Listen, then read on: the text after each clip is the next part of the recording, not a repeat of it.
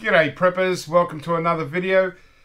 Today I thought I'd uh, do a little video on uh, another potential pantry prepping item for me and that is instant mashed potatoes. um, I never really considered them before to be honest and I, you know I haven't really seen uh, many people speak about ma instant mashed potatoes in prepping channels and maybe I've just ignored it or disregarded it. Um, yeah, uh, um, yeah, I've kind of I'm kind of having second thoughts on the idea. Now, one of my subscribers, uh, Wayne Day, actually mentioned it in my last video, and he said, um, you know, do you get mashed uh, instant mashed potatoes in Australia? And I said, well, yeah, I'm pretty sure they do have it, but I've never actually used it like this. But uh, I do remember that I have had instant mashed potatoes at KFC. They'll have the potato and gravy. Um, it's even been a while since I've had that, but uh, yeah, um, and I'm pretty sure that's instant uh, mashed potato. So I have had it. Uh, it's well, the KFC version is uh, it's a bit plain. I mean, it, it, works with the gravy. If it wasn't for the gravy, I'm not sure I, I, it would really do anything for me. Um, but it's great for dunking chips into. Um, so yeah, uh, again, um, I re really never considered instant mashed potatoes, uh, probably because we live in a, a, potato growing state here and there always seems to be potatoes everywhere. So, um, but it really makes sense uh, for a pantry, uh, prepping pantry just totally makes sense. And I thought, well, there's only one thing that would really, uh, um, a bit of a, a deal breaker here would be, well, how long does it last on the shelf as it is uh, without, you know, giving it any extra kind of prepping or anything like that, uh, um, trying to preserve it for long term. Uh, as you know, most of the things that I prep are not really for long term, it's more about rotation. But looking at these packets, the uh, use by date, now I just bought these, and so the use by date is the end of November 2023. So that's two years. Now that's pretty, I'm pretty impressed. Two years of uh, use by date, and no doubt these weren't fresh in the grocery store, so no doubt um, it, you know, you could probably find it with even longer than two years. But I'm happy with two year use by date because if it turns out okay, um, well, it's pretty easy to go through quite a lot of this in, you know, stagger it, but go through it in two years. And, uh, you know, obviously I wouldn't buy two years supply right up. Um, well, I'd buy two years supply. I just don't know how often I'm going to eat it. I need to try it first. So that's what I'm going to do today. I'm just going to try it out and then uh, possibly tomorrow I'll probably actually make a a recipe out of pantry ingredients to uh, complement this and uh, and uh, yeah just do another one of my uh, pantry uh, cooking episodes with items that I actually prep in my pantry so so this is basically the most common one that we've got here in in Australia um, in grocery stores. It's uh, it's just called Deb from Continental, and you know I was very familiar with this packet. I always see it, you know, in the in the aisles of the grocery store when I'm shopping. Never paid attention to it. Just oh, oh yeah. Um, and yeah, but I didn't know there's also one with uh, onion. So yeah, well, that's handy. They only come in smaller packets, but by the looks of it, this makes uh, like a pound of mashed potatoes or a half a kilo of mashed potatoes, and that's that's plenty um, at a time. This would be for a big family and a big feast. It's certainly worth uh, a go. Um, I just, uh, yeah, to me, if this uh, turns out half decent, it's it would be a no-brainer to have in your pantry. It would probably come close to being within my top 10 uh, best pantry uh, items if this um, turns out to be edible. um, and it's also, uh, there are so many, you know, from what I've read up and, and stuff, there's so many other uses for this. You can put it in soup um, as a, a soup base to help thicken the soups and, and pretty much everything. And uh, yeah, and sort of uh, if you wanted to add carbs, now you know uh, obviously uh, a really popular carb ingredient for the pantry is rice. Now I'm not a big big rice fan. I'll survive on it if I have to, but I'd much rather eat mashed potatoes than rice. um, that's just me. And so, uh, well, yeah, let's just give it a go. I've, uh, I'm going to go and uh, boil up some water. And apparently, if you want to make it a little bit creamier, you can add half milk as well. So I think I'll do that. And also, I'll add a couple of knobs of butter um, because that's how I would normally have potato, a mashed potato with uh, uh, a bit of milk and uh, and you know quite a bit of butter.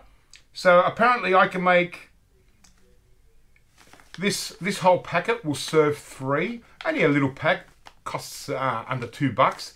Um, uh, it gets cheaper uh, as the bigger you get, but these are the only two sizes you can get really at supermarkets. I did notice there are catering catering versions where you can get a bigger bag, but we don't have uh, all the varieties like they do, say, in the US.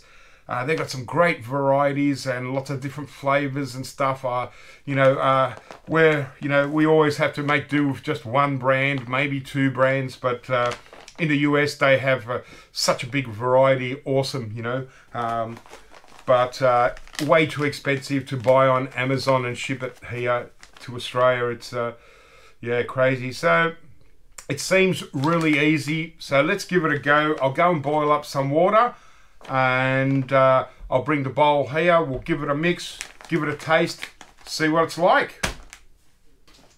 Okay, so I've got my hot um, water and milk, half and half, one cup of each, going by the, the recipe.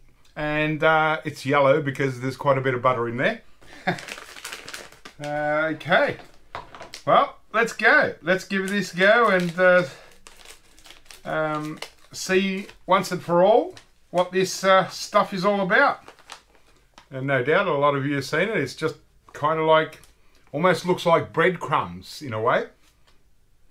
Got no real smell, but I can smell the oniony to it. Okay, so apparently I just got to put this in here and stir it in and then wait 30 seconds and stir it again. Okay. Let's do this.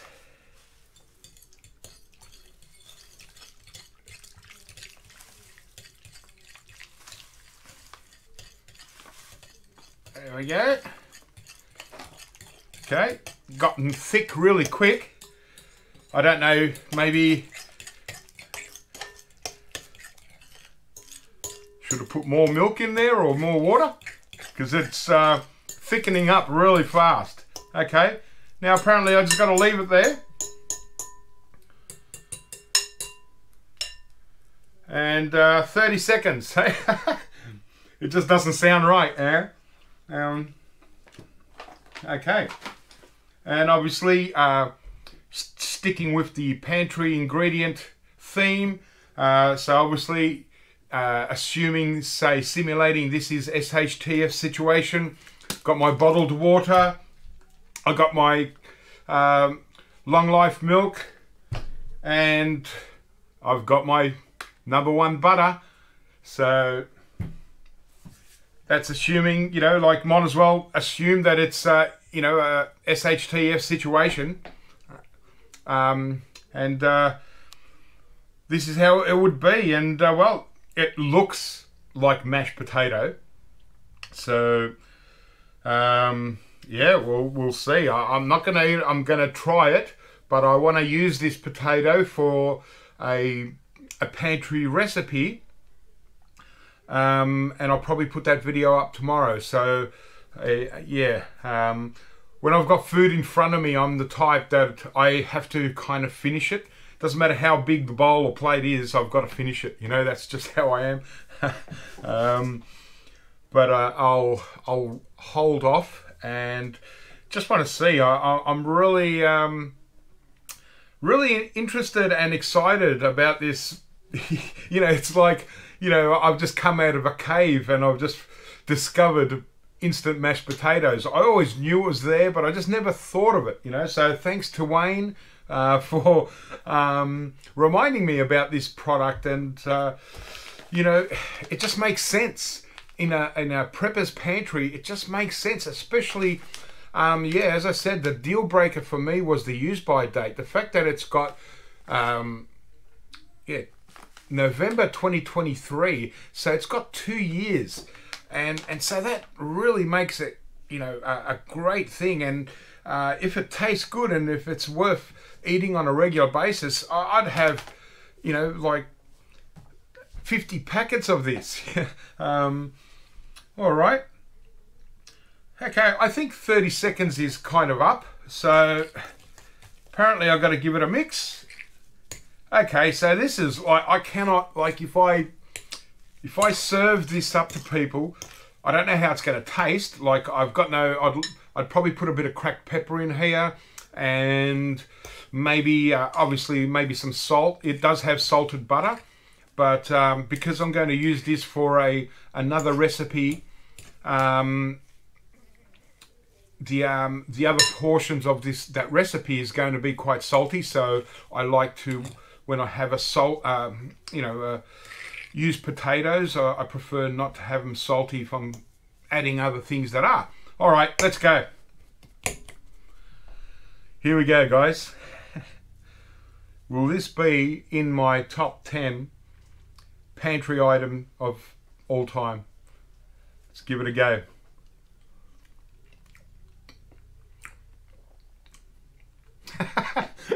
oh, that's that's weird. It's salty, it's salty more than enough. Uh, the butter probably really helped it because I did put quite a bit of butter, maybe two and a half knobs. Um, okay, I'm used to the KFC um, instant potato, and that's quite watery and you know very bland. Okay, maybe it's the fact that this has got onion in it that makes the difference.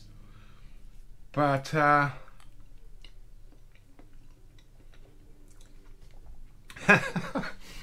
That's strange. That's so weird, you know, coming from a you know someone that cooks mashed potato all the time with real potatoes. Um, this is I can't really tell the difference that much. Um, it's actually creamier because I used half milk, half water. A lot creamier because I don't normally put that much water in it, but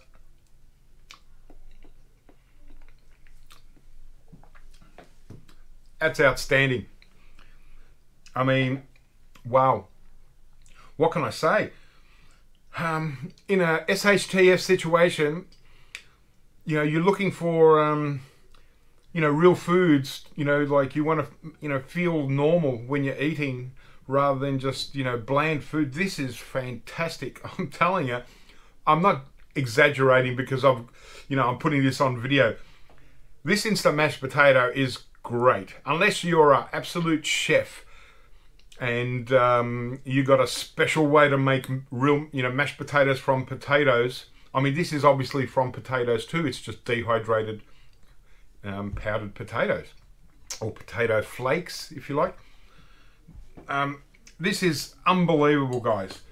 Look at it. I mean, what does that look like? It looks like mashed potatoes. I mean, it, it tastes great.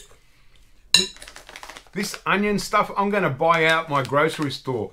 Um, I'm going to get every one of them because that is fantastic. It's a really lovely taste. Um, I don't want to eat any more because I want to save this for uh, the dish that I'm making next. So um, I'm going to leave it at that. Uh, wow, what can I say? Um, Wayne, you're you're a legend, mate. Um, thanks very much for putting me onto this and just uh, yeah, um, you know, giving me the idea about it. And so, uh, you know, I went out and tried it and uh, oh, I bought it and uh, I'm more than impressed and I thoroughly recommend it. If you like mashed potatoes, my gosh, um, it's, it's like a hundred times better than I expected. And um, there's all kinds of things you can do with this kind of thing, like you can make pies. That's what I think I'm going to do is uh, kind of make a uh, a, pie. Um, check out that. Um, the link should be in the bottom of the video tomorrow, or it should be up tomorrow anyway. Um, wow, instant mashed potato. Probably it's it's definitely got to go into my top ten pantry items. Uh, gosh, I mean, number one is my butter, uh, but this butter is not readily available to to everyone. So you know, um, it's very expensive if you've got to buy it in other countries.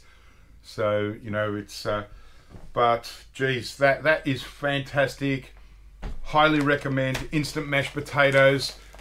More preppers have got to talk about this. This is a, a must-have in your pantry. If you're in America, you got so many great varieties, and you got garlic, you got um, sour cream and chives. And there's some great varieties, organic, um, oh, all kinds. It, you know, like my pantry, you know, I'd have, you know, 10 different varieties if I was in America, but this is continental. It's a, still an international brand. It's good enough. It's actually great. Fantastic. Um, oh my gosh. Can you imagine this like, say, you didn't have you didn't know what to eat or you, uh, you had a vegetarian around at the same time. Mashed potatoes heat up some baked beans over the top of mashed potatoes. It adds it uh, acts like a, a, gravy so a mash and gravy but baked beans so you've got some fiber and stuff. You know carbs to keep you going for the rest of the day. Um, who knows? Maybe it'll work with spam you know, might chop up, dice up the spam, heat it up, maybe fry it, and serve it with mashed potatoes, uh, a gravy if you like. Uh, the thing I reckon it will work really great with this is uh, corned beef. You know, uh, sort of mince up the corned beef, and um, I reckon you can make a really nice uh, cottage pie, um, shepherd's pie yeah, I think that's the right word. Shepherd's pie would be great with this kind of corned beef. Um, in America, you also have ground beef ready cooked in a can. We don't have that here. That would be awesome. A base, put this on top, put it in your oven or in a barbecue, close the lid, make a nice little pie, sprinkle some parmesan cheese over the top. Fantastic. I want to eat this whole thing and this is about my my serving. Um, but yeah, I'm gonna I'm gonna leave it. I don't want to eat it. All right, guys. Hope that was a bit of fun for you. If you're a prepper, even if you're not a prepper, have a few of these in your pantry. They're amazing. I'm telling you. I, I like my food, but I, I, can be a little bit fussy too. You know, if it was no good, I, I would say so. But this is a hundred times better than I expected. I'm I'm convinced. I'm sold. This is this is me from now on. Keep prepping, have fun, and I'll catch you real soon.